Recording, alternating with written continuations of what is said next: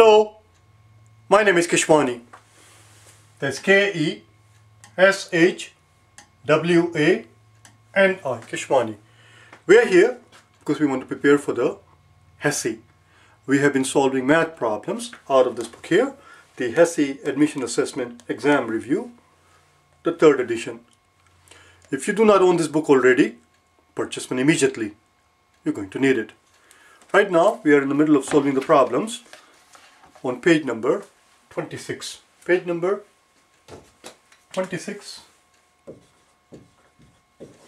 And we're going to do problems having to do with the notion of ratios and proportions. Ratios and proportions. After having watched the videos that we're going to watch in HESI series, which is going to be day, day number, today is day number 38. Day number 38, 39 and 40, we're going to have three lessons on the topic of ratios and proportions after having watched day number 38, 39 and 40 in HESIs, if you feel that you need more practice, if you feel that you need to, you, you, you need to do some more problems on the topic of ratios and problems, then as, I, then as I have pointed out to you in the past on several occasions, the math on the HESI is very similar to what you will encounter on TEAS.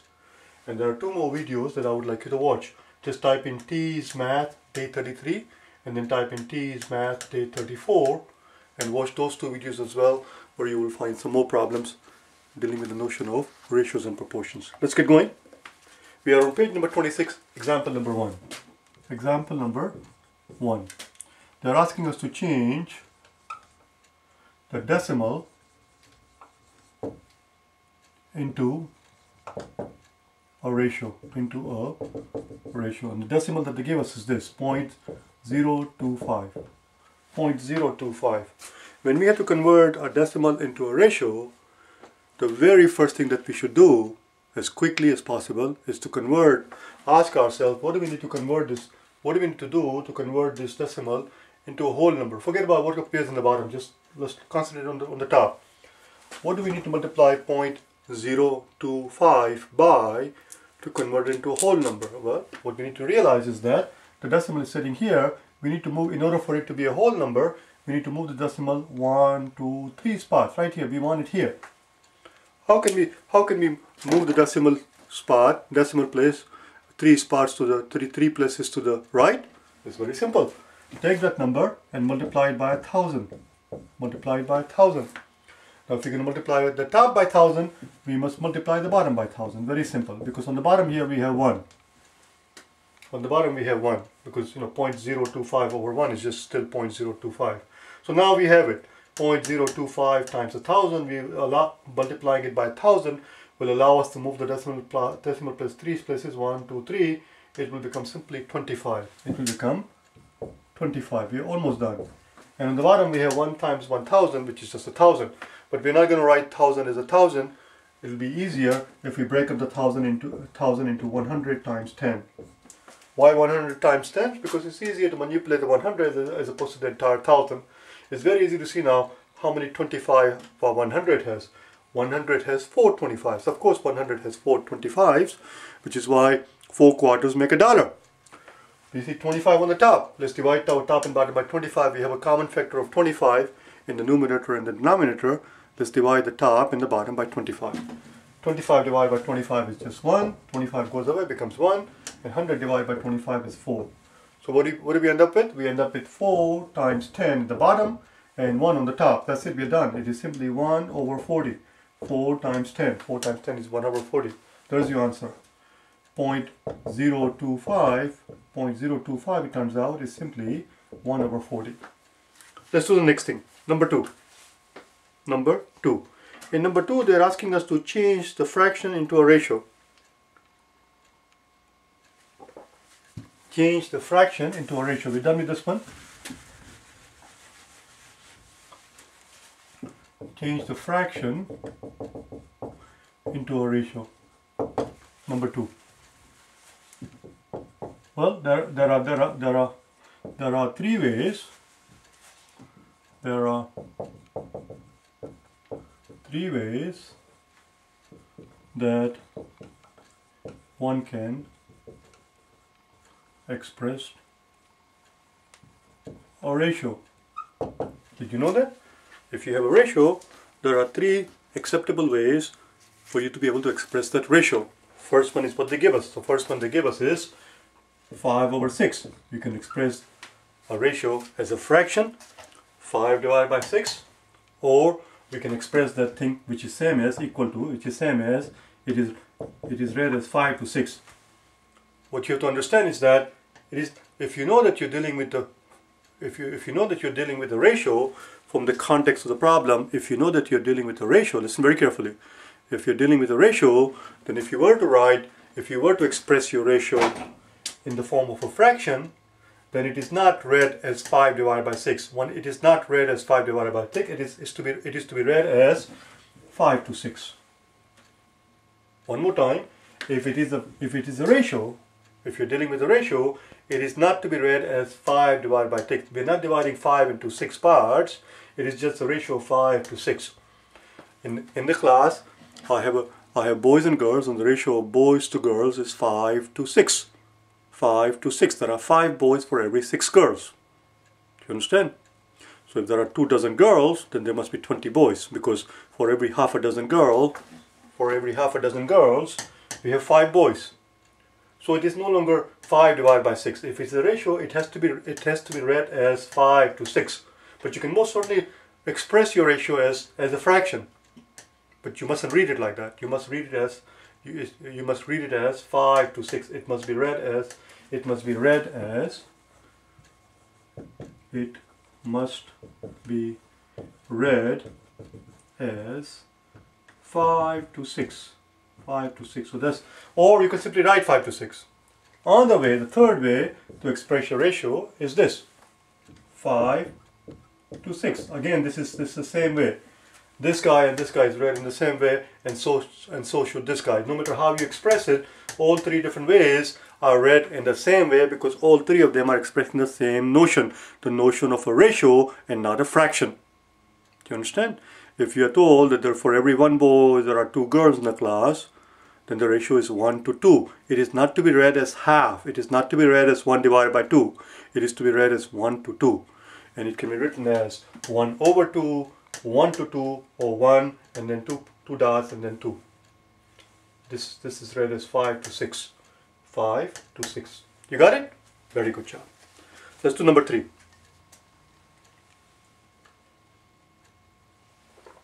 Let's do number 3. In number 3, they're asking us to solve the proportion.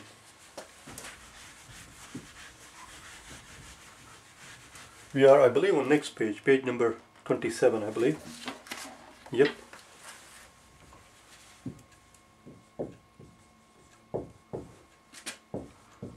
Solve the proportion, proportions rather, proportion, just one of them, one at a time obviously. Solve the proportion. The very first one they give us is this. Let's first write it down, then, then we'll figure out how to read it.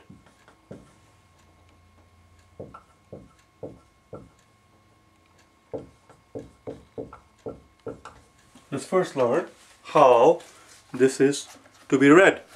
How is it to be read? Let's find out, shall we? Well, this part we already know. This is to be read as 7 to 10. 7 to 10. So this two dots is the two part right here. And then four dots here that you see here is to be read as is to. 7 to 10 is to 14 to x. That's how it's read. One more time this four dots that you see here is read as is 2 and the two dots is read as a 2 you got it? 7 to 10 is to 14 to x. Now what the hell does it mean? Well this is what it means. 7 7 to 10 we already know this is not a new part. We already learned it. 7 to 10 just means 7 over 10 what does is 2 mean? Is 2 means equal. Is 2 means equal this symbol that you see here, that means this, this ratio is equal to what you see on the other side. That's your equal sign. That's is2 is the equal sign. This is how it's read and that's your equal sign right here. Is to 14 to x. 14 to x means 14 over x. Question is what would that value of x have to be in order for this equation to hold. In order for this equation to hold, it's just a very fancy way of saying, in order for this equation to work out, in order for this equation to be valid. Well, it's very simple, very straightforward. We have a 7 on the top here, we have a 14 on the top there. If we can make this top the same as that top, then whatever we find on the bottom would have to be same as x. You understand? If we can make the same top on this side of the, of the equation same as that top, then whatever we, what we end, whatever the resulting number that we end up at the bottom here would have to be the same as x. How do we convert 7 into a 14? Very simple. Multiply by 2. Multiply the 7 by 2. Now if you're going to multiply the top by 2, you must multiply the bottom by 2. Otherwise, it will no longer be the same ratio. Otherwise, it will no longer be the same quantity. That's it, we are done. 2 times 7 is 14 and therefore x must be 2 times 2 times 10 2 times 10 which is 20 turns out x is equal to 20 let's do the next one shall we number 4 number 4 I'm going at a very leisurely pace I do not know why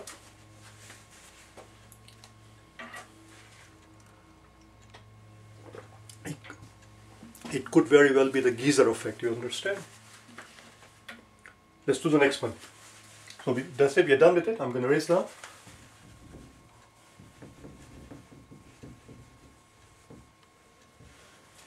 Number four. Same thing. Number four says x to 63, x to 63 is to is to 24 to 72. 24 to 72. 24 to 72. Did we, did we do it correctly? Very good job. Now let's convert this into an equation, okay? Let's convert this into equation. And once we have the equation, we'll separate our x, we'll keep the x on one side, we'll bring everything else on the other side and just reduce it, simplify it, that's all. So x to 63, x to 63 is to, is to 24 to 72. That's how it's right x to 63 is to 24 to 72. You got the language? You got the lingo? That's the important part. This x to 63 means x over 63 is to means equals and 24 to 72 means 7, 24 over 72. We want the x by itself. We want the, that should have been that should have been 63. Where the hell the where did the 10 come from? I do not know. What the hell is the matter with me? x to 63. How the hell did I get 10 out of it? Now we need to get rid of this 63 from the bottom here so that we can have the x by itself. We want the x all by itself. We want the x all by itself and nothing else on that side. How can we get rid of this 63? It's very simple. Multiply both sides of the equation. Multiply both sides of the equation by 63 and that 63 goes away. All we have to do is simplify it. So let's rewrite it so we can simplify it here. So x equals 24 times 63 over 72. What can we do here? Let's multiply top and bottom. Now, if you were to if you were to reduce this thing like a baby with a 2 and a 3 and a 2 and a 3 and a 2 and 3, you'll be there forever. If you can find, your job is to find the largest common factor that you can find between the numerator and the denominator. The bigger the common factor that you can find, the fewer the steps you will have to do, and the faster the process will go. For example, here we could be, we could begin our process by dividing top and bottom by 2 and then by 2 again and by 3 and by 2 and by 3. It will, it will take 3 or 4 steps. I'm just going to divide top and bottom by 6. How many 6 does 24 have? 24 has 4 6. 4 6 are 24. Now how do I know that this number is divisible by 6? Well that's just it. You have to know it. You can by, by looking at it you can tell that it is divisible by 6. How is it divisible by 6? How are you going to divide 72 by 6? If you ask a lot of people to divide 72 by 6 without, a without the help of a calculator, they will freeze. They will freeze like a deer caught in a headlight. That's because when you ask them to divide 72 by 6, they actually are trying to divide 72 by 6. If somebody asks you to divide 72 by 6, pay absolutely no attention to what they're saying. Start dividing one digit at a time. Start dividing by one digit at a time. How many 6 does 7 have? How many 6 does 7 have? 7 has 1 6. 7 has 1 6. The remaining one goes and joins the 2 and becomes 12. One more time. 7 has 1 6. After you take away 6 from a 7, we get a remainder of 1. The remaining one goes and joins the 2 and become 12. And how many 6 does 12 have? 12 has two sixes. Essentially what we're doing here is the long division. We're doing the long division but we're doing it in our mind. You see, 72 divided by 6. Okay, watch. How many 6 does 7 have? 7 has 1 6. After we take away the 6 from it, we got a remainder of 1. That, two, that one goes, that one goes and joins the 2, that one goes and joins the 2 and become 12. How many 6 does 12 have? 12 has 2. 12 has 2 sixes. But you see, we're not doing it in a baby way. We're not doing it in a baby way for a reason, for a very good reason. That's the, re the reason being that we're not baby. Do you understand? Stop doing it in a childish manner. Do you understand? Learn to do divide the numbers like a grown-up person. And if you want to learn all this, uh, this stuff here, it's all there. Look in the basic math, the series, pick and choose the topic. There are several different topics that I cover. You don't have to watch all the videos. Pick and choose as to what you want to learn. They're all there. Let's carry on. Enough of the talk. I'm going I'm going way too slowly now. So that's it. That's 12. What can we do next now? Oh, there I see I see 63. I see 12. Oh, I see actually 4 and a 12. Why don't we divide top and bottom by 4? 4 divided by 4 is just 1 and 12 divided by 3 is just 3. And now 3 divided by 63 is very easy. Let's divide top and bottom by 3. 6 has 2 3s and 3 has 1 3. And that 3 goes away. There you go, we're done. It's simply 1 times 21 which means our x, our x turns out to be 21. Our x turns out to be 21. That's all. Let's carry on then, shall we? Number 5. Number 5. Well, number 5 is the same thing, solve the proportion it says, and, the, and, and what, like, what we're given to us is, what is given to us is, this is number 5, 240 to 60, 240 to 60 are you see are you able to see immediately even before we write the rest are you able to see that there's 200 240 to 60 these zeros these zeros are just to annoy the hell out of you. They're not going to serve any purpose. They're not going to do anything. They're just there to intimidate you they're just there to annoy you they're just there to vex you they're just there to fret you so that you look at it and say oh my god 240 oh my god 60 when we divide top and bottom by 10, when we divide top and bottom by 10 on this side of the equation, those two zeros are going to drop out right away. They're not going to do anything. And 24 divided by 6 is just 4. Let's carry on. Is to, is to x divided by 12. X divided by 12. x divided, uh, x, uh, rather x to 12. x to 12. One more time. 240 to 60 is to x to 12. Let's do it out. 240 to 60 is to is to x to 12. Let's carry on, shall we? So 240 divided by 60, 240 divided by 60 has to equal, has to equal x over 12. We see 240 on the top, we see 60 on the bottom. They both end with a 0. One we divide top and bottom by 0 right away. Let's divide, or rather, uh, let's divide top and bottom by not 0. Let's divide top and bottom by 10. We divide 240 by 10 and 60 by 10. How do we show our work? How do we show our work? That we are dividing top and bottom by 10. Not like a baby, like a grown-up person, just knock out the zeros. That's it. You see what I mean? They serve no purpose. They, they're just there to annoy you. They're going to get knocked out right away. Let's divide top and bottom by 6. If you divide top and bottom by 6, 6 is going to go away and 24 becomes 4. And now we have to get rid of this 12. We still have to get rid of this 12 from the bottom here. How do we get rid of this 12 from the bottom so that we can have the x by itself? It's very simple. Multiply both sides of the equation by 12. So this 12 is going to go away. If you're going to multiply this side of the equation by 12, you must, you must multiply that side of the equation by 12. That's it, we're done. We have the x by itself. We have the x by itself. And how much does x turn out to be? we have the x by itself, it turns out to be 4 times 12. 4 times 12 is 48. Turns out that x is 48. Voila. That's all. I'll see you tomorrow, okay? Bye now.